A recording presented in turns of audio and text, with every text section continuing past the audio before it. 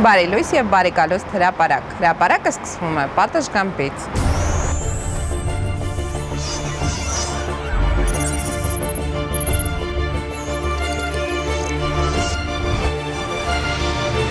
Քանի որ ամառ է, լրահոս այնքան էլ ակտիվ չէ։ Քաղաքական գործիչները հանգստանում են, հրապարակի աշխատողները փորձում են տեղեկություններ հայթայթել տարբեր աղբյուրներից։ Այս շաբաթվա ամենակարևոր իրադարձությունը տարբեր բուհերի հոգաբարձուների խորհրդի նշանակումներն էին։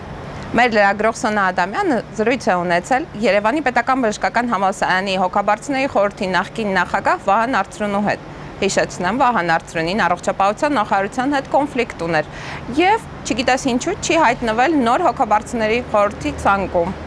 Մանրամասները կարող եք կարդալ հրապարակ AM-ում։ Հրապարակ TV-ն նորածին է եւ նոր հաղորդումների տարբեր շարքեր է սկսում։ Այդ հաղորդումներից մեկը վարում է մեր Կարեն Մարտիրոսյանը։ Խորհուրդ եմ տալիս դիտել նրա տուգանային հրապարակ հաղորդումը սպորտի բոլոր մանրամասների մասին։ Կարենը շատ տպավորիչ է կադրում։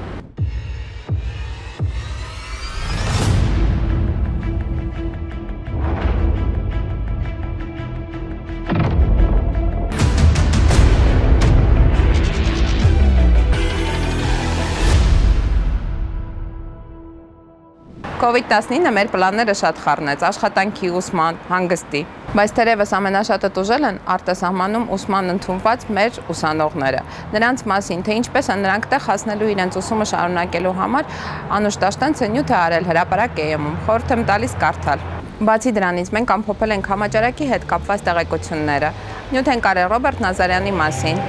Անկամ անդրադարձել ենք Փաշինյանի դստեր ավտոմեքենայի համարներին։ Խորհուրդ եմ տալիս այս նյութերը կարդալ հրապարակ EM-ում։